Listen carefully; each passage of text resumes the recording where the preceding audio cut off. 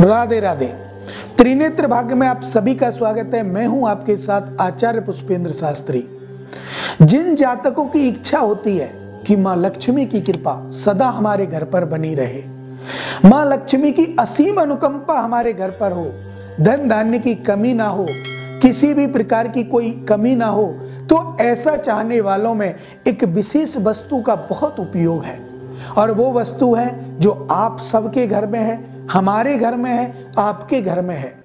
एक छोटी सी चीज़ जो आपके जीवन को बदल सकती है, माँ लक्ष्मी की कृपा आपके घर पर वर्षा सकती है। लक्ष्मी का अपार सुख आपको प्राप्त हो सकता है। तो वो चीज़ क्या है? ये देख लें, वो वस्तु क्या है? वो है एक झाड़ू, जिससे आप सफ़ाई करते हैं। सफ़ाई करने वाली झाड़ू इतनी उपयोगी हो सकती है, ये आपके मन में प्रसन्न होगा।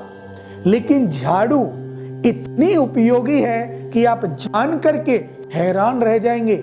माँ लक्ष्मी की कृपा इसके ऊपर होती है।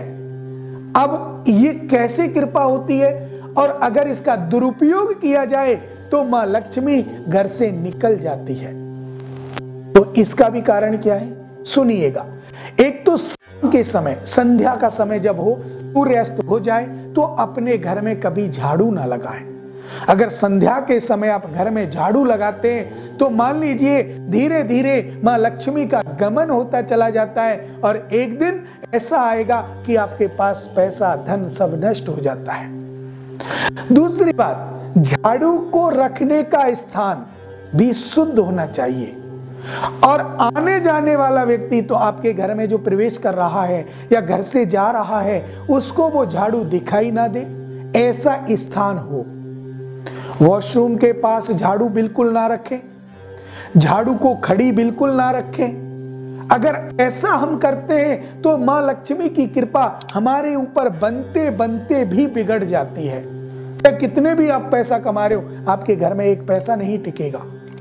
अगर झाड़ू का आप सम्मान करें, पैर ना लगाएँ अगर आपका झाड़ू से पैर से आप झाड़ू हटा देते हैं, कहीं झाड़ू पड़ा है रास्ते में और आपने उससे पैर लगा दिया, पैर से हटा दिया तो मान लीजिए माँ लक्ष्मी को आपने ठोकर मारी है। आपके बुरे दिन स्टार्ट हो गए। तो झाड़ू से पैर नहीं लगाना।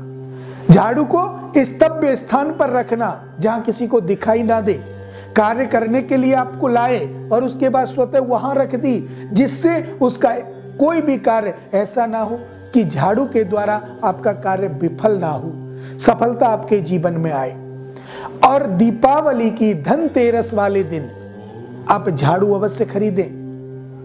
और अगर धनतेरस के दिन नहीं खरीदी तो ध्यान रखिए, अगर आपको झाड़ू खरीदनी है तो बुद्ध और बृहस्पति दो बार में ही आप झाड़ू खरीदें। मंगल को और शनिवार को कभी भूल कर झाड़ू ना लें।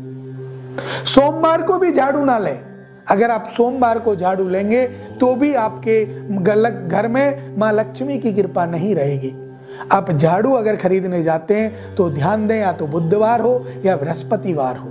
दो दिन ही आप झाड़ू खरीदें और उस झाड़ू को जब घर में लाएँ तो उस पर पूजन रूप में पूजन करना तो वेदों में कहा है कि झाड़ू का पूजन करें, लेकिन घर में ये सब नहीं हो सकता तो उसके लिए आप क्या करें? जैसे ही आप झाड़ू को लाए, गंगा जल के छिड़काव किया थोड़ी सी हल्दी लेकर के झाड़ू जिस जगह से हाथ से पकड़ा जाता है, उस जगह स्वास्थ्य बना दिया या पाँच टिक्की हल्दी की रख दी, आपका कार्य सफल होगा, माँ लक्ष्मी की कृपा आपके घर पर बनेगी, आपका जीवन सफल होगा। अब मुझे दे इजाज़त राधे राधे